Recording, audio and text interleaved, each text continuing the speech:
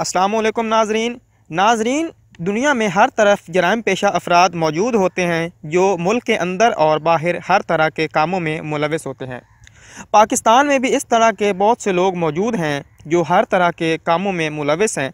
तो दोस्तों, आज की इस वीडियो में हम आपको पाकिस्तान में मौजूद पाँच बड़े डॉन्स के बारे में बताएँगे। मगर इन डॉन्स के बारे में जानने से पहले, अगर आपने हमारे यूट्यूब चैनल को सब्सक्राइब नहीं किया तो अभी सब्सक्राइब कर लें और साथ में लगे घंटी के बटन को दबा लें ताकि हमारी मज़ीद नई आने वाली वीडियोज़ आपको नोटिफिकेशन की सूरत में मिलती रहें। सेठ आबिद। दोस्तों, इसका असल नाम शेख आबिद हुसैन है और इसका ताल्लुक़ लाहौर से था।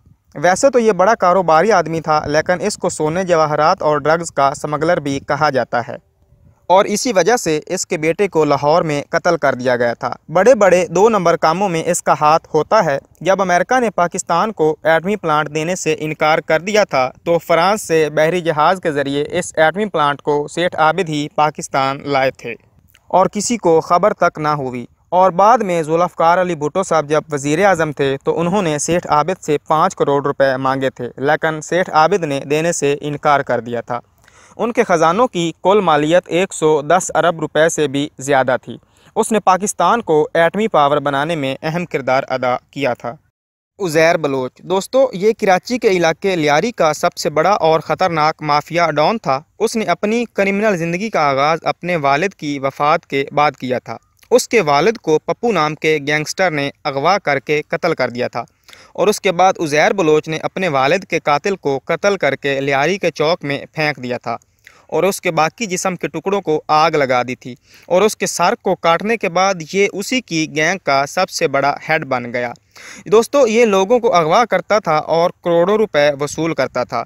2015 ईस्वी में उसको दुबई में गिरफ़्तार कर लिया गया था और इसकी गैंगस्टर लाइफ को रोक दिया गया था।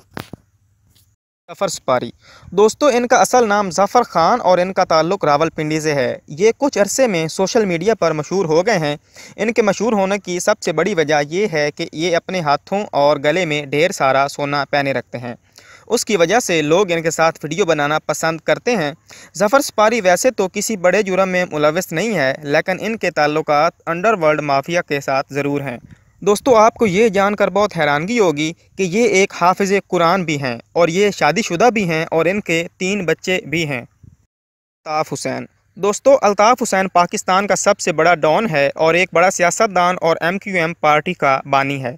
उन्नीस सौ बानवे ईस्वी में यह पाकिस्तान से फ़रार हो गया था और लंदन में सियासी पनाह हासिल कर ली थी। ये अपनी पार्टी को वहीं से फ़ोन पर चलाता आ रहा है। लाहौर में अगवाखोरी, स्मगलिंग और बड़े जराइम में इसका हाथ होता था और पाकिस्तान के हज़ारों लोगों को ये कत्ल करवा देता था। इस गैंगस्टर को पाकिस्तान दुश्मन एजेंसियों की सपोर्ट भी हासिल है। इस पर पाकिस्तान दुश्मनी के केस भी चल रहे हैं। ताजी खोखर।